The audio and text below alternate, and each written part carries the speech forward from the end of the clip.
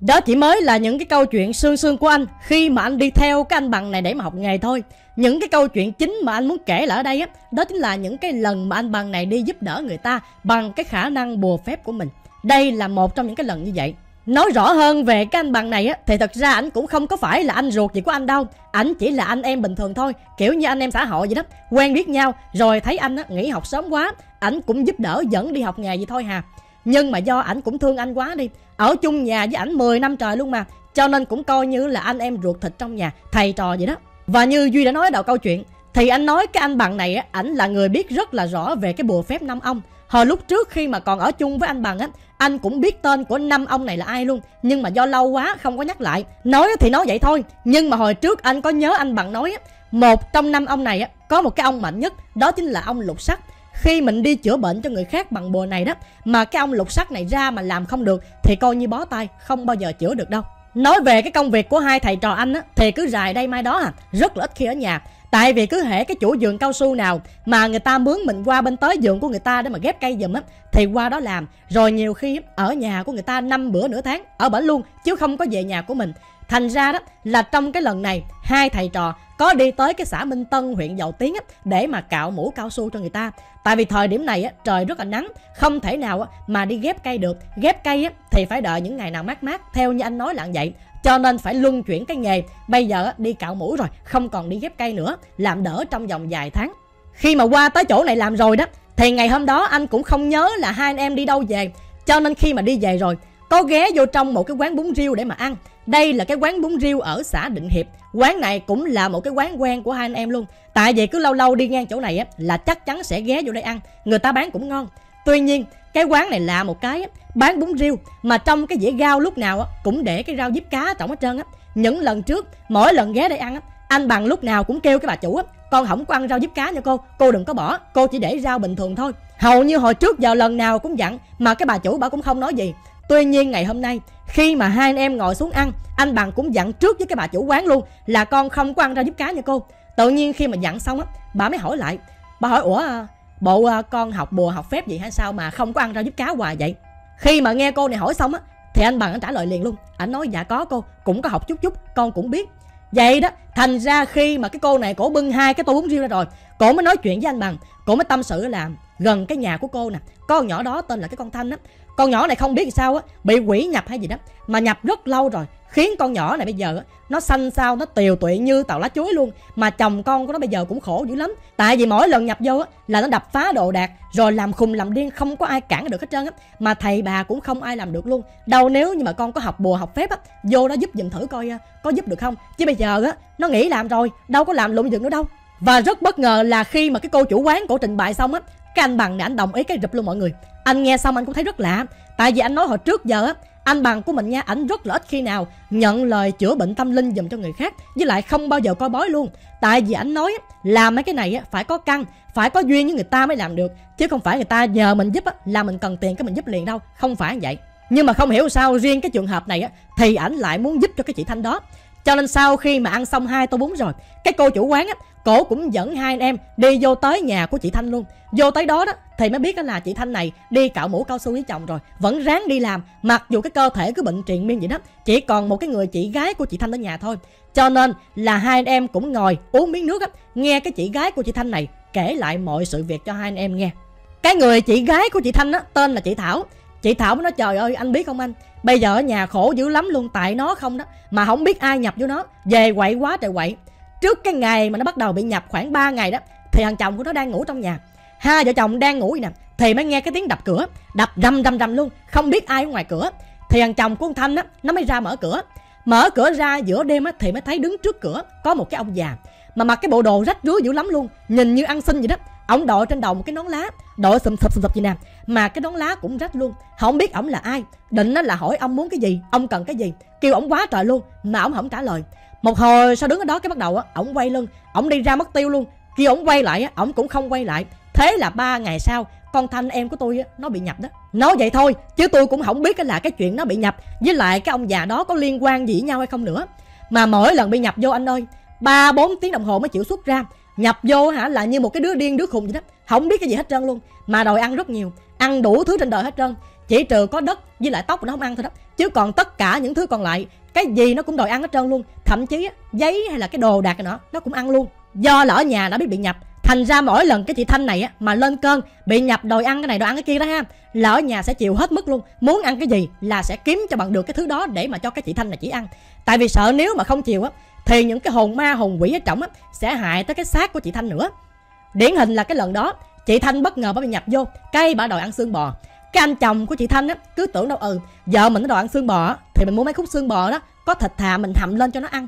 Khi hầm xong rồi, ảnh mới để cái nồi xương bò ở đó. Chị thanh bà lại á bà lấy cục xương bò lên bà ăn. Mọi người cũng thấy là ăn nguyên cái khúc thịt luôn. Ăn thịt xong rồi á, tưởng đâu bỏ khúc xương xuống, nhưng không phải. Vừa ăn hết thịt xong rồi á, cầm nguyên khúc xương bò, bỏ vô họng mà không có nhai, nuốt trọng luôn trời ơi khi đó ở nhà mới tá quả cản mà cản không kịp luôn. Vừa chạy tới cản thôi á là nuốt trọng khúc xương bò luôn rồi. Cứ sợ á, là bị mắc nghẹn chết không à. Nhưng hoàn toàn bình thường như là nuốt một cái mẫu giấy đó mọi người. Nuốt vô luôn là mất tiêu à. Sau cái sự việc đó là ở trong nhà càng sợ và càng phải canh cái chị này hơn? Tại vì mỗi lần đòi ăn mấy thứ tầm bậy tầm bạ đó ha nhiều khi ăn bự quá đó rồi bị mắc nghẹn rồi chết rồi sao? Cho nên ở nhà lúc nào cũng có người đứng ra túc trực canh me cái chị này không cho ăn những cái đồ đó thời gian đầu á thì anh chồng cũng ở nhà để mà canh chị này. Nhưng ở nhà hoài không đi làm thì tiền đâu mà sống. Cho nên mấy ngày hôm nay á, cũng bắt chị này ra ngoài đó để mà đi cạo mũ cao su á. Khi nào mà còn tỉnh á, thì còn làm. Mà bệnh lên á thì thôi. Sau đó khi mà thấy không ổn rồi đó thì ở nhà cũng có đi tìm hết thầy này tới thầy kia luôn. Nhưng mà làm hoài cũng làm không được. Mà tìm thầy nào á người ta cũng lấy tiền hết trơn nha. Cũng dành dụm tiền riết là hết trơn tiền trong nhà luôn. Mà kết quả là không có được cái gì hết trơn á. Tới khi mà tìm được cái người thầy này người thầy đó tên là thầy bảy thầy bảy là cái người thầy cuối cùng trị bệnh cho cái chị thanh đó luôn đó. Khi mà thầy bảy về đó, thì thầy bảy cũng làm cho cái chị này cũng khá là bài bản. Ngày hôm đó khi mà thầy bảy về nhà, thầy bảy cũng móc dài cái lá bùa ra để mà đốt chuẩn bị là trị con quỷ này. Nhưng mà vừa đốt cháy phần phật thôi á, thì tự nhiên á là cái con quỷ này lại nhập vô người của chị thanh. Nhập vô xong á, nó chụp cái đống lá bùa, nó nuốt luôn, nuốt trọng luôn và ổng không còn gì để mà đốt hết trơn á. Sau đó thì thầy bảy lại tiếp tục lấy đồ nghề của mình. Thì hình như trong đó có một cái tấm khăn đây là cái khăn kiểu như là một cái khăn bùa vậy đó. Thầy bảy mới cầm, rồi đánh tới tấp lên đầu của chị thanh này luôn. Sau khi mà cái con quỷ trong người của chị thanh đã xuất ra rồi đó, thầy bảy chỉ nói với gia đình một câu thôi, tôi chỉ làm tới đây thôi. Tại vì cái con này là quỷ thành tinh rồi, chứ không phải ma nữa. Tại vì tôi làm mà nó còn nuốt cái lá bùa của tôi á, thì không bao giờ tôi trị được nó đâu. Thôi, tới đây thôi nha. Vậy đó sau khi mà nhờ thầy bảy làm xong, chị thanh này thì cũng coi như là đỡ đỡ một chút. Hồi trước á thì đòi ăn tùm lum tùm la hết, ăn giấy nè, ăn cây rồi ăn xương heo, xương bò. Bây giờ đỡ, không đòi ăn mấy thứ nữa, mà chuyển sang á, nói tào lao, nói nhảm, cười, khóc khóc, cười, nói tào lao hoài gì đó. Chính vì thấy vợ của mình vẫn chưa có hết thẳng cho nên là anh chồng của chị thanh á cũng ráng đi tìm thầy này thầy kia về chữa nữa. Nhưng mà hình như là tiền mất tật mang, tại vì cũng không có hết luôn, cứ vậy hoài đó. Cho tới khi mà ba của chị thanh mất á thì chị thanh lại bị nhập một lần nữa. Khi đó, lúc mà người ta nhập vô á, người ta nói bằng cái giọng của cái người đàn ông. Kiểu như là nhập vô, rồi ngồi đó nói chuyện tầm xàm mình ơn gì đó. Cái chị thảo này mới nói bây giờ á, anh không có về thăm em được nữa rồi. Tại vì ở trước cửa nhà của em á, có cái ông này, ông kia canh tùm lum hết trơn à anh không vô được. Với lại á, mỗi lần mà anh về thăm em á, anh bị người ta chửi ta đánh quá trời à. Cho nên nếu mà sau này anh có về với em nữa đó, thì anh đợi hai cái ông nó đi rồi, hoặc là thằng chồng của em á, nó không có nhà thì anh mới về, anh vô cái xác của em được. Mà kiểu là ngồi nói chuyện mình ơi hoài vậy đó, ngày nào cũng nói luôn. Mỗi lần nhập vô, nói đi nói lại đúng một câu này thôi á, rồi bắt đầu xuất ra. Nhưng đặc biệt, sau cái lần đó là cứ hễ lần nào cái anh chồng của chị thanh này nói tới cái chữ nhập thôi đó, là tự động cái chị thanh sẽ bị người ta nhập luôn. Ví dụ như mỗi lần chòm sớm có qua thăm đi, hỏi ê, vợ mày giờ còn bị nhập nữa hay không? Thì anh chồng anh trả lời ừ cũng còn, mà nhập ít thôi à. Vừa nói chữ nhập xong thôi á, là vợ của mình bị nhập liền ngay tức khắc. Rất là lạ mà không giải thích được cho nên kể từ những cái lần đó, ở trong nhà của chị thanh này, tuyệt đối cấm nói đi nói lại cái chữ nhập nha. Tại vì nói cái chữ này là chị vợ của mình bị nhập liền đó. Đó là toàn bộ những cái lời kể của cái chị thảo. Chị gái của cái chị thanh này kể lại cho hai anh em nghe. Khi mà nghe xong á, anh bằng nói, trời ơi, cái gì mà như trong phim vậy? Thôi, cái trường hợp này thì à, tôi cũng giúp được. Bây giờ á, khi nào mà hai vợ chồng của thanh nó làm về đó, chị nói với nó ngày mai nghỉ buổi đi. Rồi chuẩn bị á, nói với tôi nha, ngày mai tôi đem nhang đèn trái cây qua đây, rồi tôi làm lễ cho nó cho tới qua sáng ngày hôm sau anh bằng cũng chở anh lên tới nhà của chị thanh này. Lúc mà đi á cũng có một cái anh đi chung nữa. Anh đó là anh tấn làm chung ở trên cái giường cao su á. Thấy cũng tò mò quá muốn coi cái quá trình mà anh bằng á ảnh trị giúp người ta như thế nào cũng lên trển để mà coi. Nhưng do đi sớm quá đi hai vợ chồng của chị thanh á người ta đi cạo mũ cao su từ hồi khuya tới giờ chưa có về nhà nữa. Cho nên là hai anh em á mới đi ra quán cà phê á ngồi đỡ ở đó. Khi mà ra tới quán cà phê á, thì chỉ có anh với lại anh Tấn ngồi lại thôi. Còn cái anh Bằng á, ảnh chạy qua tới nhà của thầy Bảy bển. Thầy Bảy này là cái người thầy mà hồi trước đã từng chữa bệnh cho chị Thanh đó. Ổng đốt mấy lá bùa rồi chị Thanh nuốt luôn cái lá bùa đó. Hình như là hồi trước thầy Bảy cũng đã từng quen với lại cái anh Bằng này rồi. Cho nên hôm nay ảnh qua tới nhà thầy Bảy á, ảnh xin thêm bùa với lại ngải để đem qua đây nè, tiếp sức cho ảnh trong cái quá trình á, ảnh trục con quỷ này ra khỏi người của chị Thanh. Sau khi mà anh Bằng ảnh đi tầm khoảng 2 tiếng rồi á, ảnh nó quay trở lại cái chỗ này để mà ảnh đưa anh với lại cái anh tấn á ba anh em cùng nhau đi vô tới nhà của vợ chồng của chồng vô tới đó thì hai chồng đã đi làm về. mọi người có mặt đông đủ rồi. đồ cúng này nọ nhang đèn cũng đã chuẩn bị sẵn. anh bằng lúc đó ảnh qua tới nhà thầy bảy anh có lấy thêm bùa và ngải. Bùa nó khác với ngải nha mọi người. Đem bùa nha và đem những cái củ ngải để mà trừ tà. Do là cũng tò mò muốn coi sư phụ của mình á chữa bệnh tâm linh sao cho nên là anh cũng vô tới nhà của chị Thanh để mà coi luôn. Nhưng cũng rất là sợ. Sợ lỡ khi nào hồi á, chữa cho bà Thanh xong rồi, con quỷ nó xuất ra, nó nhập vô người của mình không trời, lỡ như hạp á thì sao? Cho nên là anh mới xin với anh bằng á, xin ảnh được cầm một cái củ ngải để mà ma quỷ nó không có nhập vô người của mình được. Ảnh cũng cho anh một cái củ ngải luôn, cầm trên tay. Nhưng mà trước khi đưa cho anh á, ảnh mới cầm lên. Ảnh đọc cái gì đó, đọc lầm nhầm lầm nhầm gì nè. Rồi ảnh thổi vô cái cục này ba cái, ảnh mới đưa cho anh cầm.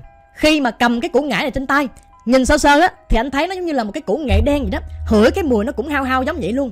Sau đó thì anh mới hỏi với là anh bằng. Anh nói anh ơi sao mà cái này giống củ nghệ đen dữ vậy? Anh nói á, nhìn hao hao vậy thôi chứ nó không phải củ nghệ đen đâu. Cái củ này rất là độc nha.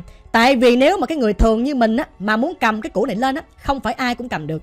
Trước khi muốn cầm á thì cái người thầy mà dùng nó đó, người ta phải sơn bùa hoặc là luyện bùa vô nó đó, làm phép thì mới cầm vô được. Chứ người thường mà không có làm gì mà cầm lên đó, thì sẽ bị ngải nó ăn.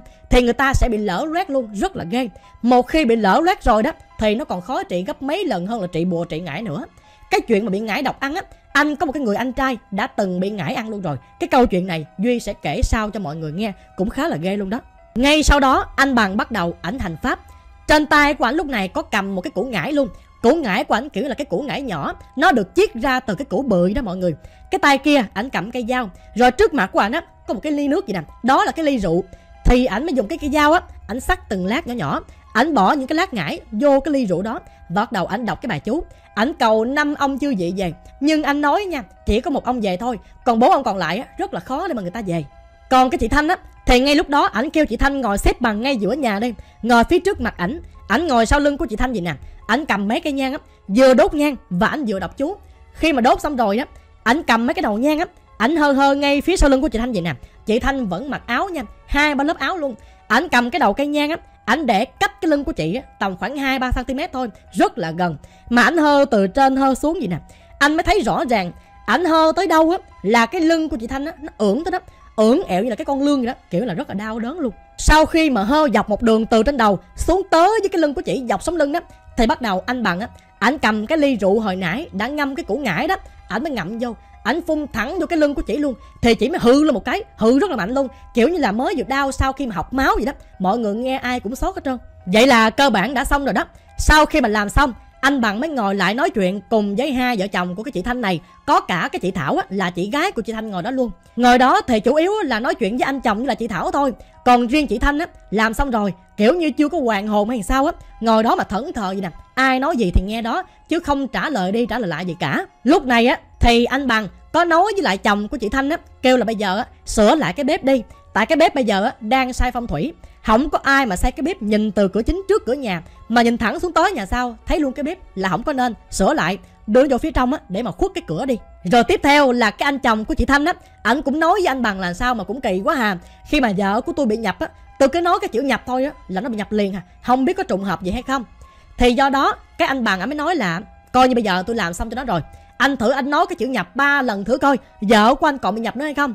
Nếu mà còn bị nhập nữa, thì coi như nó vẫn còn ở đây đó, nó chưa có đi còn nếu mà anh nói cái chữ nhập ba lần, giờ anh vẫn bình thường á, là coi như đã bình thường rồi đó, không còn nữa. Và thế là cái anh chồng á, ảnh mới nói thử luôn. Ảnh nói nhập nhập nhập.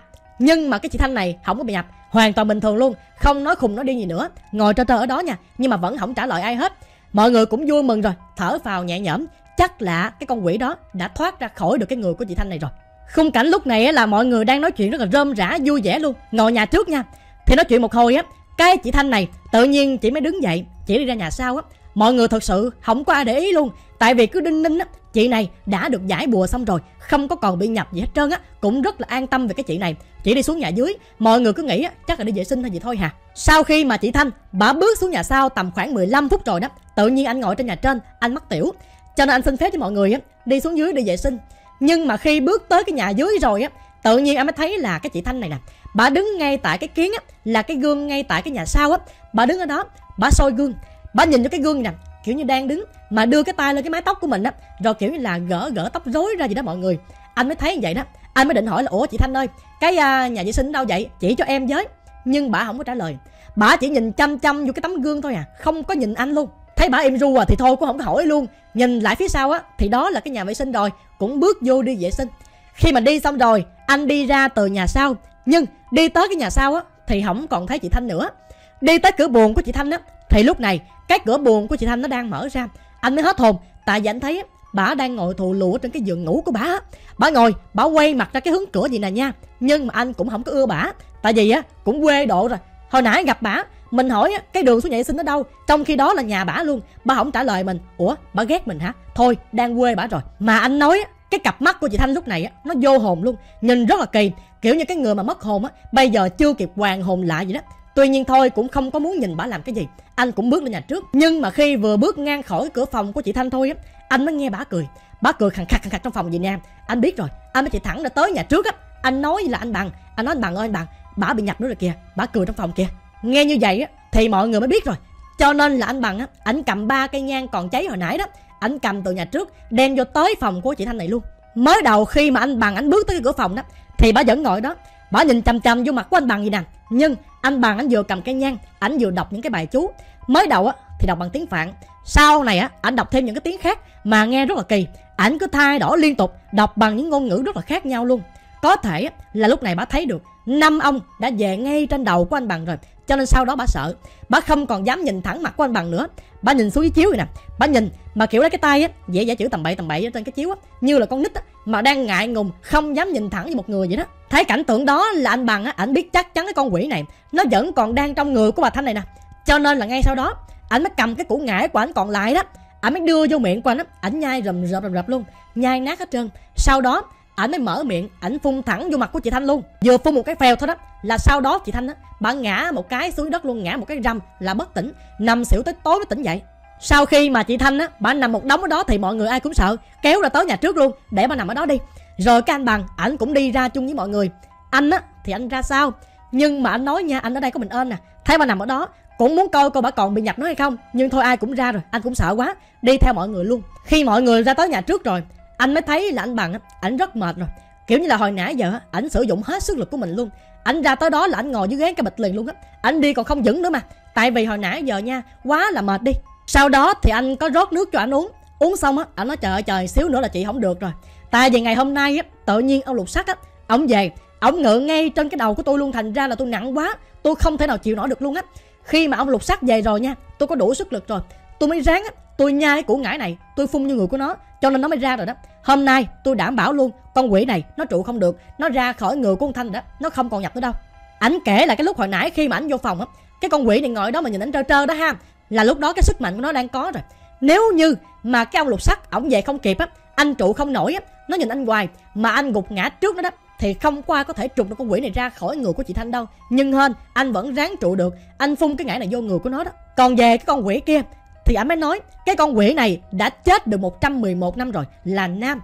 Người ta chết lâu, cho nên người ta thành quỷ. Nhưng mà cái người này hồi kiếp trước á, có quen biết gì đó với lại cái chị thanh này nè cho nên người ta mới về á, người ta nhập vô vậy đó. Nói thì nói vậy, nhưng mà cái mối quan hệ là gì á, ảnh cũng không biết rõ nữa. Xong rồi á, thì ảnh cũng dẫn anh với lại anh tấn đi về. Hồi nãy giờ anh tấn núp ở ngoài á, đâu có dám vô nhà đâu, mà cũng không dám coi cái cảnh tượng á là cái chị thanh này bảo ma nhập sao hết trơn á. Sợ quá không dám coi. Trước khi ra về á anh bằng có để lại cho chồng của chị thanh 12 cái lá bùa. Đây là những cái lá bùa mà hồi sáng á, ảnh chạy qua tới nhà thầy bảy á, thỉnh nó bển đem về đó.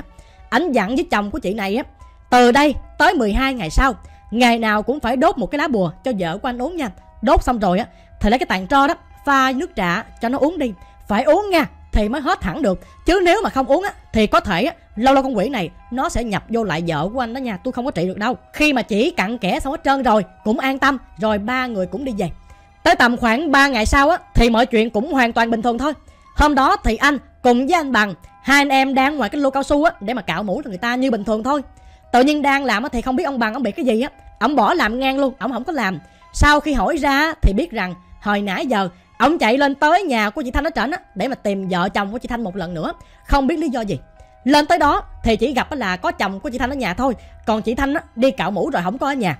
Tự nhiên vô tới gặp anh chồng á, thì cái anh bằng mới nói là, ủa tại sao tôi dặn rồi? Từ cái bữa hôm trước á, là ngày nào cũng phải đốt một cái lá bùa cho con thanh nó uống. Mà tại sao ông không có đốt? Bộ ông nghi ngờ á, khi mà vợ ông uống bùa xong á, là bị tôi bỏ bùa. Rồi á, tôi cặp bồ với lại vợ của ông hay gì mà ông cho nó uống vậy? Tự nhiên khi mà nghe anh bạn nói vậy á, là cái ông chồng của chị thanh á ông sợ liền. Đúng rồi, đúng tim đen của ông rồi đó. Tại vì kể từ cái ngày hôm đó làm xong, theo như cái lời dặn của anh bạn á, là phải cho vợ của mình uống bùa. Nhưng ông không cho uống. Ông cất 12 cái lá bùa luôn. Ông bỏ ông không có cho bà uống sau khi mà hỏi cặn kẽ ra rồi á thì ông mới nói là cái ngày hôm đó làm xong á con thanh là vợ của ông á cứ lúc nào cũng khen anh bằng này hoài à. Nói trời ơi người gì đâu mà đẹp trai mà còn giỏi bùa nữa. Trời ơi làm xong cái là khỏe luôn không còn bị gì hết. Đi tới hàng xóm á cũng khen ngợi ca tụng cái anh bằng này. Cho nên cái ông chồng á ông mới ghen. Ông nói trời ơi chữa xong rồi cho vợ tao uống bùa nè. Lỡ như á, vợ tao uống hết 12 lá bùa này bỏ nhà đi theo thằng bằng luôn rồi sao? Có khi nào thằng bằng nó bỏ bùa vợ mình không trời? Chính vì vậy đó mà ổng không cho vợ của ông uống là vậy đó. Cho nên, theo cái linh tính mách bảo của anh bằng á, ảnh biết ổng không cho vợ của ổng uống bùa nè.